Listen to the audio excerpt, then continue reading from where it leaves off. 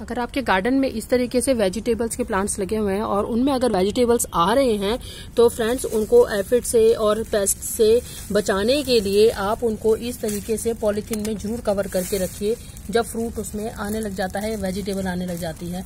और देखिए, अगर आप इस तरीके से कवर रखेंगे तो आपके प्लांट्स और वेजिटेबल्स जो हैं, वो एकदम से अच्छे रहेंगे हेल्थी रहेंगे।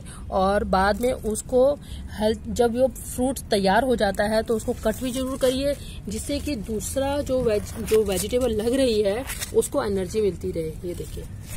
ये मेरा ककड़ी का प्लांट है, जो जिसमें मैं तीसरी बार ये हार्वेस्ट कर रही हूँ और ये मैं ककड़ी काट लेती हूँ।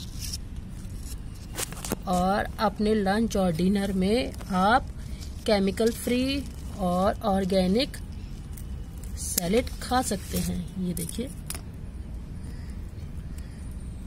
फ्रेंड्स आप भी इस तरीके से अपने वेजिटेबल्स को सेफ़ रखिए और लंच डिनर में ज़रूर खाइएगा। Thank you friends